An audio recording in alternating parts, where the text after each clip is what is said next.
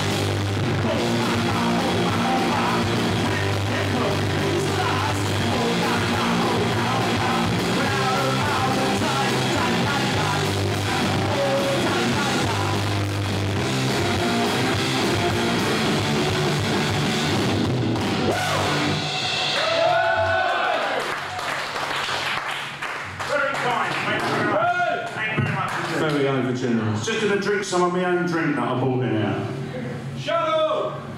Wolverine! In our own time. We're gonna do Shadow for that guy who asked for it, right? But not until later. Alright? So you're gonna have to wait. This one is a song from an album we had out in 1988 called uh, Wild Times Again. And this one is about an old girlfriend of mine who took too much fucking shit smack and died. And this one is called Don't Fall Down.